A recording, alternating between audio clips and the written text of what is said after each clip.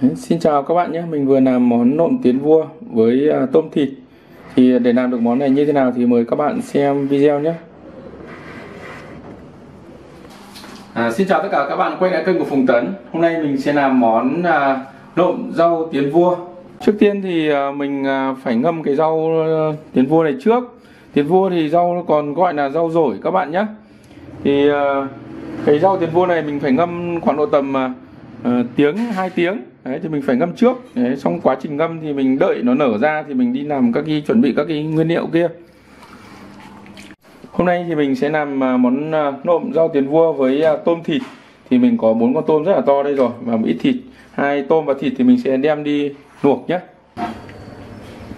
mình sẽ đi thái hành tây trước nhé để mình ngâm vào cái chậu nước đá này.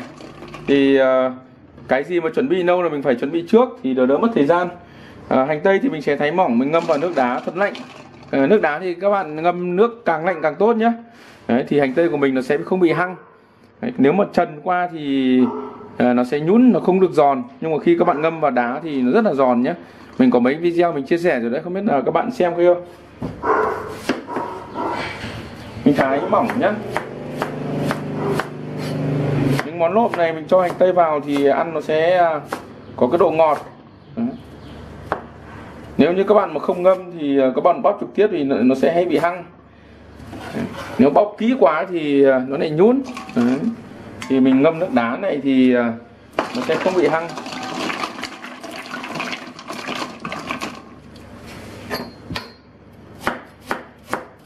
Cái này thì các bạn ăn thích ăn nhiều, các bạn cho nhiều ăn ít, cho ít thôi. Mình cho khoảng độ già nửa củ bao giờ một cái hành tây của mình mà các bạn để ý nhé mình ngâm cái hành tây mà thực ra nhanh hay chóng nó còn phụ thuộc vào cái độ à, lạnh của cái đá này các bạn cho nhiều đá thì nó nhanh. Đấy, mình ngâm làm sao mà sau cái hành tây của mình mà nên nó trong nó nhìn gần như là thủng xuyên được qua thì là được. Đấy, thì ăn à, nó sẽ không bị hăng một tí nào luôn. Mình sẽ thái cái đồ mạ đi kèm nhé đây thì mình chỉ cho khoảng độ à, với củ cà rốt nhỏ này mình chỉ cho nửa củ thôi nhé nửa củ là hơi nhiều đấy. Cà rốt thì mình sẽ thái kiểu à, chân hương.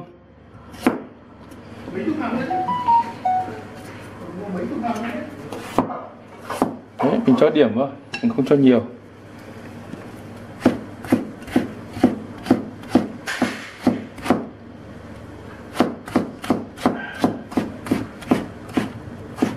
Đấy. cho từng đây thôi cà rốt cho nhiều quá nó cũng xấu dưa chuột thì mình sẽ cắt bỏ những phần đầu phần đuôi. Sau đó mình sẽ à, bổ làm bốn. Bỏ ruột đi các bạn nhé.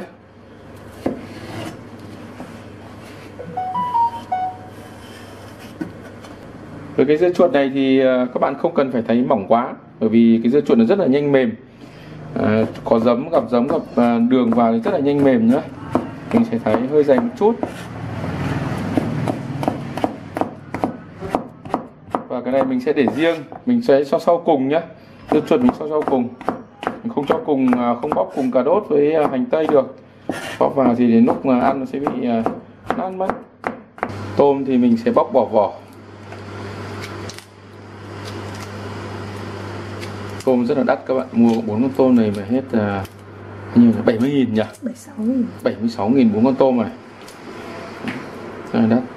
Nếu bạn nào mà có điều kiện thì cho nhiều không có điều kiện thì ờ, cho ít hoặc cho tôm nhỏ.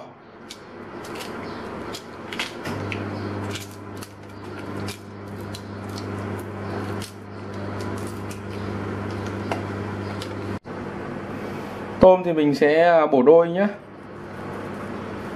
bổ đôi nó vừa vì ngấm, vừa vì đừng ờ, được nhiều.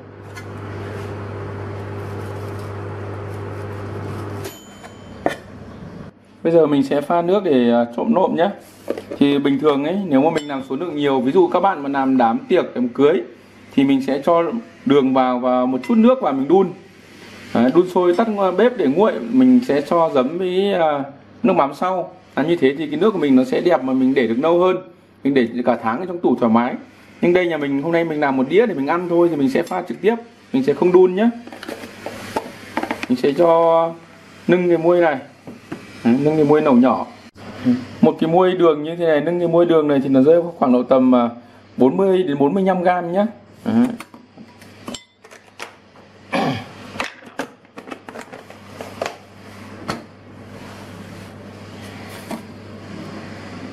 giấm. Giấm thì khoảng độ tầm 30 gram. Nâng cái gần đến miệng cái muôi nước mắm thì tí này nước mắm cũng bằng giấm này.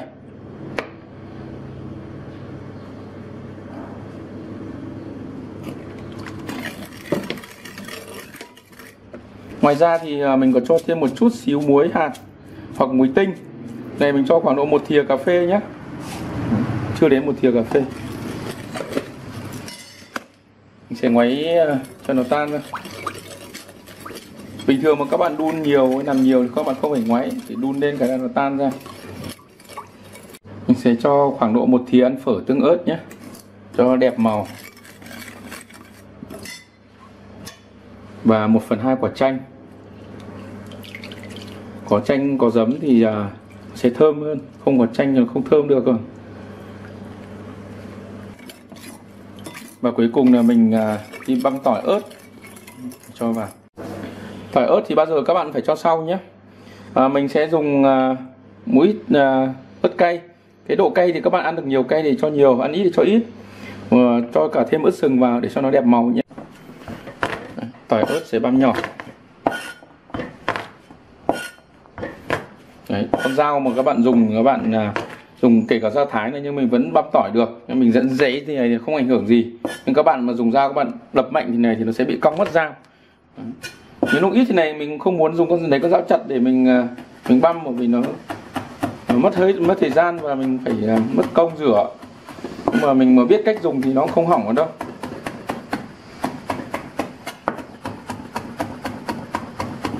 Đấy, sau khi mình dần à, mình dí con cùi tỏi cái bây giờ mình thái như thế này thì nó vẫn là được.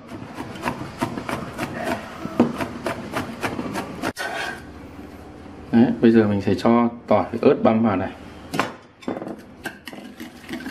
nhìn hấp dẫn không các bạn. Rau thơm, rau mùi thì mình sẽ thái qua nhé thái dối nhé các bạn nhé cái này không cần phải thái nhỏ đâu, qua thôi.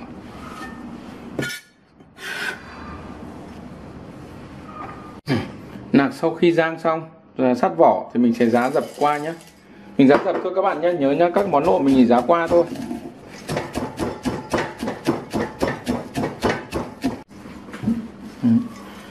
Giã như này rồi các bạn nhé. Đã dập thế này thôi. Đấy, sau khi mình chuẩn bị được hết nguyên liệu rồi à, ngồi chơi một, một lúc cho cái này nở ra thì bây giờ mình sẽ đi rửa sạch cái này nhé. Với cái dạo tiền vua này thì à, mình sẽ à, thái dài khoảng bằng à, một ngón tay trỏ nhé. Cái phần nào mà nó già quá thì à, các bạn bỏ bữa cái đầu này có thể cắt bỏ một, một chút xíu mình sẽ xếp gọn vào để thái cho nó dễ.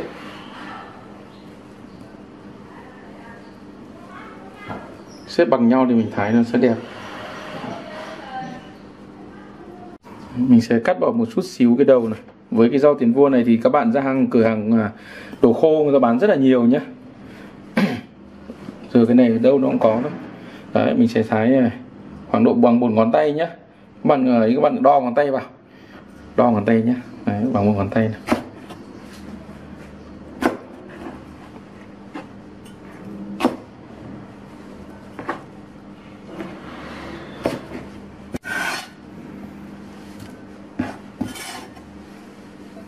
Bình thường với món nộm này thì các bạn chỉ cần ngâm lở ra rửa sạch là các bạn bạn bóp trực tiếp được. Đấy, thì nhưng mà mình thì mình uh, cho nó an toàn đấy thì mình cứ trần qua Đấy, mình trần qua thì nếu như các bạn mà không có nước nóng hay nước phích ấy, thì các bạn đun sôi lên các bạn nhúng ngoài ngoài cái các bạn vớt ra Đấy, còn đây mình có cái bình nước này là tiện thì mình sẽ dùng trần bằng cái nước này luôn Đấy. nước này thì à, nếu để đóng ra thì ờ, pha ít chè thì cũng vẫn pha được nhé đấy. sờ là bỏng đấy các bạn ạ với cái chân cái nước này thì mình có thể à, trộn qua. Đấy bóp bóp qua này đảo qua một chút xíu nó không sợ lát. Nhưng mà với khi các bạn trần mà bằng bếp thì các bạn phải đun nước sôi các bạn tắt bếp các bạn trần nhé. Đấy, cái, cái nước của mình thì nó không được uh, nóng à, uh, nóng nóng hẳn nóng ra hẳn. Thì mình cũng phải bóp qua khoảng độ tầm một hai phút. Ok thì mình sẽ đổ ra cho nó ráo nước. Và bây giờ đến hành tây. Thì mình ngâm được cũng được hành tây khá lâu rồi đấy nhìn cái hành tây là trong như này. Đấy. thì mình sẽ à, đổ cái hành, không đổ cái hành tây ra vớt cái hành tây ra cho nó ráo nước nhé. Đấy sau khi mình trộn là mình chuẩn bị hết cái nguyên liệu đầy đủ rồi cả nước pha nước nộm đây rồi bây giờ bắt đầu mình trộn nhé thì cái này chỉ chuẩn bị cái phần chuẩn bị là mất thời gian thôi còn trộn rất là nhanh. Là hành tây này với uh, rau tiền vua mình sẽ trộn trước. Cái này mình sẽ phải bóp trước nhé mình sẽ cho à, một phần hai cái nước này vào. Đấy mình sẽ bóp trước. Đấy, các bạn trộn nha các bạn không bóp nhé. Bóp nó bị dập nát rất là xấu mình sẽ trộn đều. Cái gì mà khó ngấm trước thì ờ, các bạn trộn trước cũng kiểu như thế khi mình ờ, xào xáo một món gì Đấy, thì cứ món nào mà ờ, khó chín trước thì mình sẽ cho vào mình xào trước cái ờ, thực phẩm gì mà lợn nhanh chín mình sẽ cho sau. Và trộn qua cái này rồi, bây giờ mình sẽ cho cà rốt vào, trộn tiếp.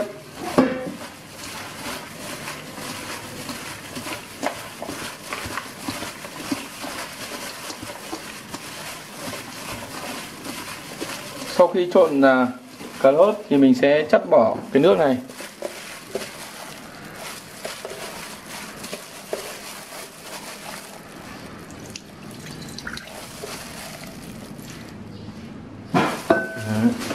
Và bây giờ mình sẽ cho tất cả những nguyên liệu còn lại vào. Thịt này. Tôm này. Dưa chuột này, ớt này. Cứ một tí nhưng mà khá là nhiều. Này, một đĩa không hết. Bây giờ mình sẽ cho cái nước nộm còn lại vào nhé. Cái này thì các bạn phải ngoắng thật đều. Bằng kỹ còn nó không tan được bởi mình pha trực tiếp, mình không đun.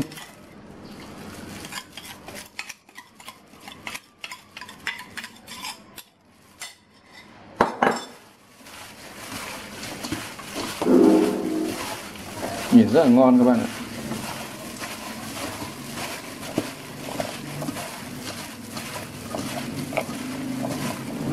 Các bạn nhớ là không bóp nhé mình sẽ trộn thôi nhé nhưng mà trộn kỹ một chút thì nó đều.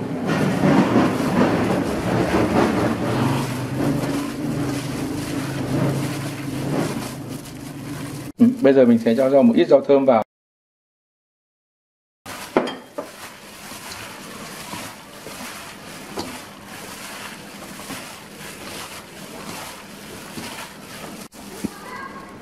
mình sẽ cho ra đĩa nhé cái này của mình thì à, mình không muốn để cái nạc nó ỉu ấy thì mình à, bốc ra thì nó dốc bớt nước. Đấy, thì mình sẽ cho bốc một ít mình lại cho nạc lên trên. Đấy. bạn nào muốn nhanh thì các bạn à, trộn nạc luôn vào.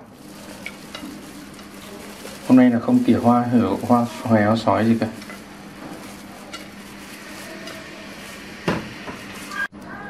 Và trên cùng mình cho một ít nạc lên trên này. Mình sẽ ờ, không bốc tôm vào. Để mình ờ, xếp mấy con tôm xung quanh trên trên cho nó đẹp nhé.